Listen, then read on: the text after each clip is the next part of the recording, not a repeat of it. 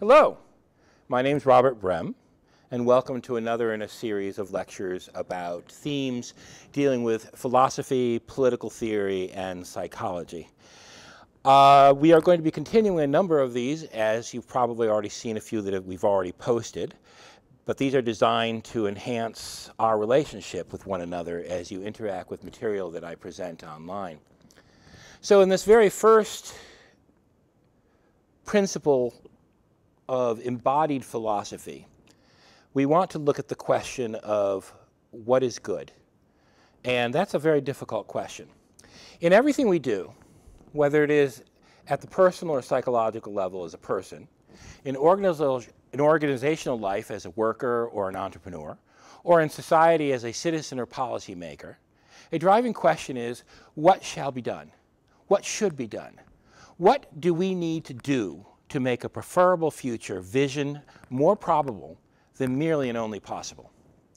Futurist Barbara Marx Hubbard and philosopher Frances Moore Lappé note in all of our actions, in each moment of decision, our choices and the consequences of those choices engages us in a collective act of conscious evolution.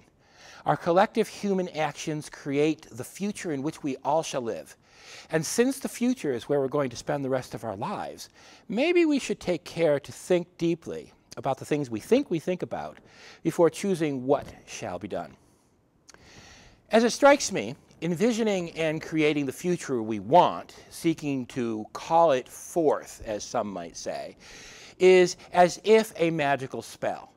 And it is a principle in spell casting that to speak a sloppy spell is to do sloppy magic and therefore create sloppy results, a sloppy reality. And we've got to live with that. That is to say, I think the quality of one's inquiry, thinking, and willingness to commit to the highest degree of integrity in clarity and critical thinking goes hand in hand with spiritual integrity and the integrity of social movements committed to changing the world for the better. However, behind all of this in our vision of a preferable future story of self and a story of us in a better future story of now is a crucial question which is not so simple in finding an adequate answer, and that is the question of what is good. Until we answer the question of what is good, we cannot decide on any course of action as to what shall be done.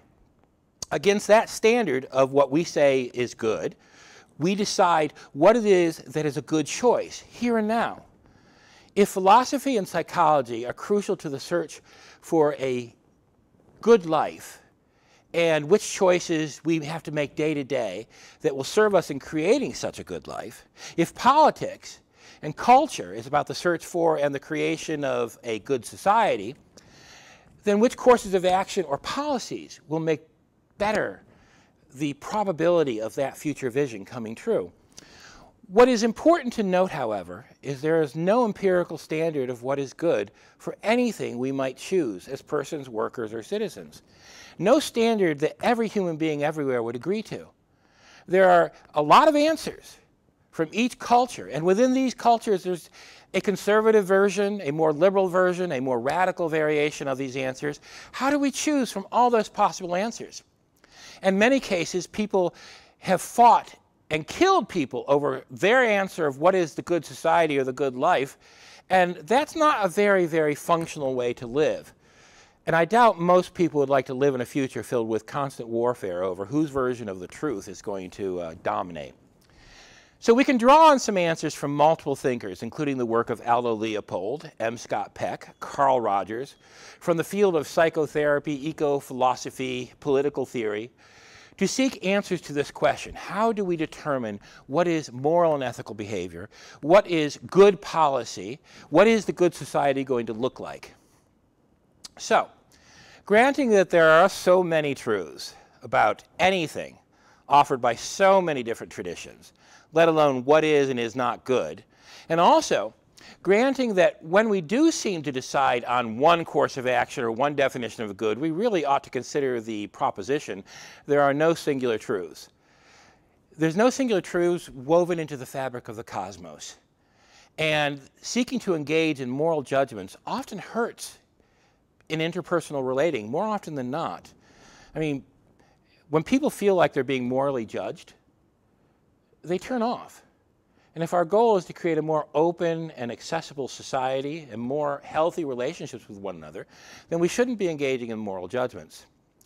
So, one interpretation of Western civilization's story of the fall from paradise is that when humans, in their imperfection, believed they could judge what is good and evil, humans kicked themselves out of paradise.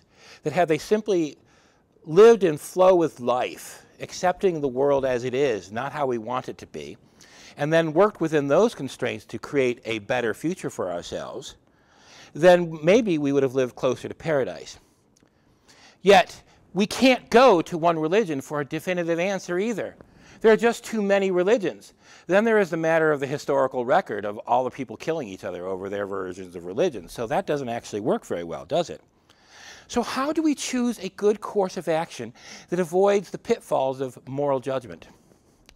Therefore, we must find our own way to answers and making these choices. All beliefs, values, morality, and ethics are contextually relative to the situation in which we find ourselves located in space, the place we live, and time, here. The reality of the human condition offers us few other options than to make choices within the bounded rationality and the resultant ambiguities of the human condition and human relationships and events.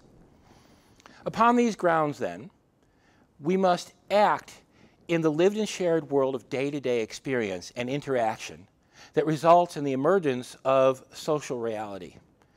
This reality emerges in the complex interactions of being human, being human, day to day, where we live and act as persons, as workers, and as citizens.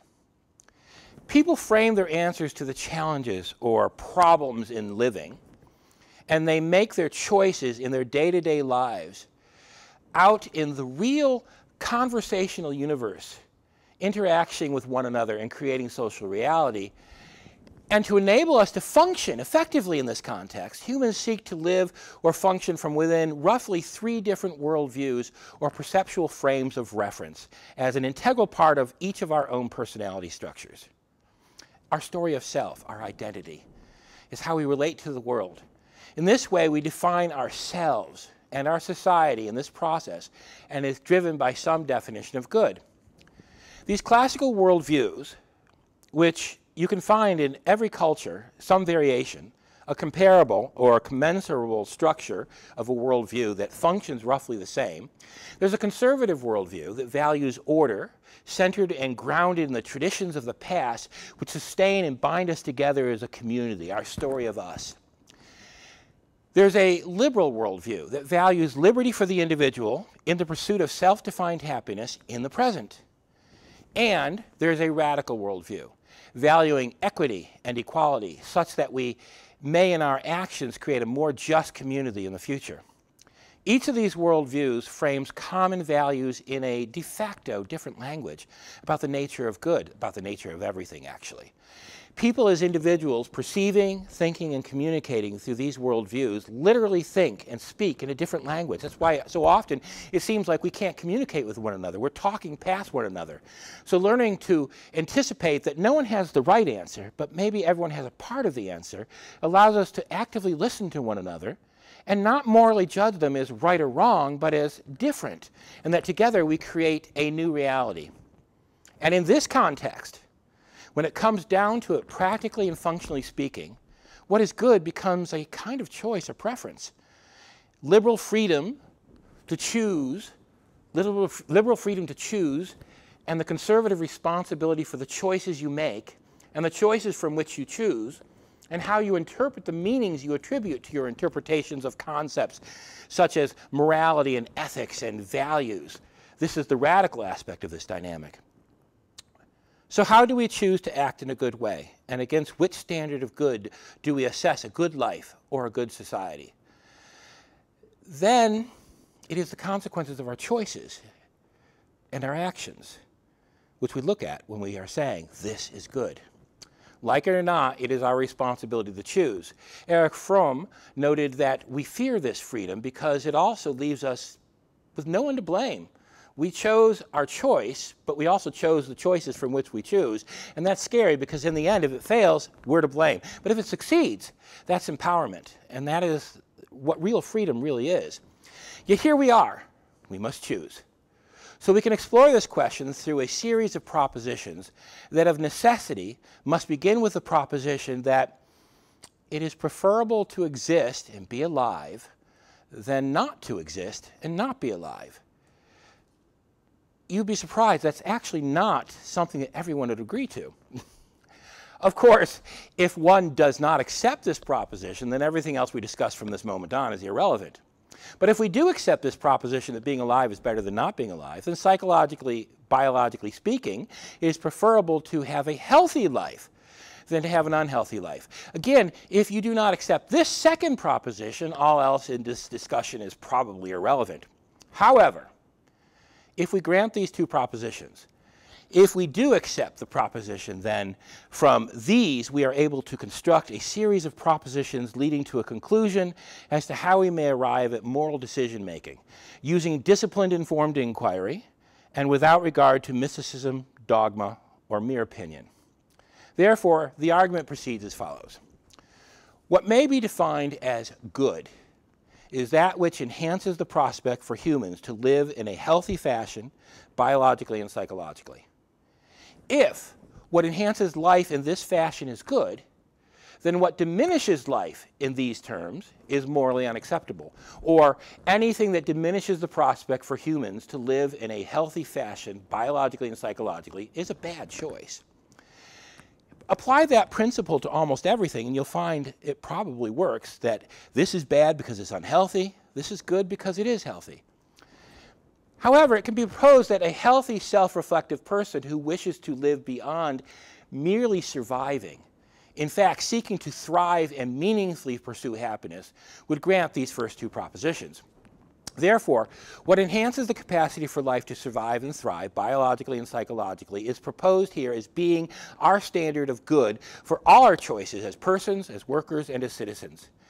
And we define what is healthy, and this is what's interesting. We define what is healthy using the reliable working facts from the findings of the various behavioral and medical health sciences. So we actually do know what is healthy. Overall, then we can call this the life ethic the life ethic. In, it then follows that there are certain ways of ordering society in a manner that enhances the capacity of life to survive and thrive in a biologically and psychologically healthy fashion. And these can be differentiated from ways of ordering society that diminish life and enhance life prospects for everyone to a lesser degree. Further, we can then reliably say any such social order modality would be the optimum or good and best social order in the context of this healthy life enhancing perspective. The life ethic can also be proposed or proposes that there is evidence that democratic values driven social order is one in which our interactions with one another are defined by the boundaries of democratic values and that such a way of being enhances the life prospect to the highest degree of success.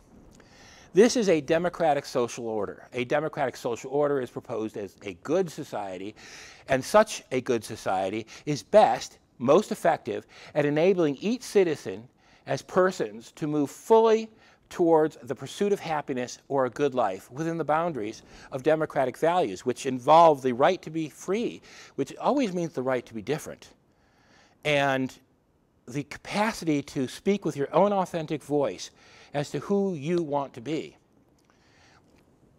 It is also proposed then that any social order that is not democratic is not an optimal social order in engaging the capacity of people to pursue the good life, in that it diminishes the life prospect of the people within the system. On this basis, it is possible to determine the morality of a given course of action as a person in your personal psychological life, as a worker in the organizational world, or as a citizen or policymaker in the larger political and cultural world. And so, as they say in logical argument, quod erat demonstrandum, which is that which is to be demonstrated. I've offered this life ethic as a way to engage in choices to create a better life and a better society. In future discussions, we will explore some of the details of what that will look like and other philosophical, philosophical concepts that help us engage in this sort of uh, thinking and action. But until then, my name is Robert Brem, and good day and good luck.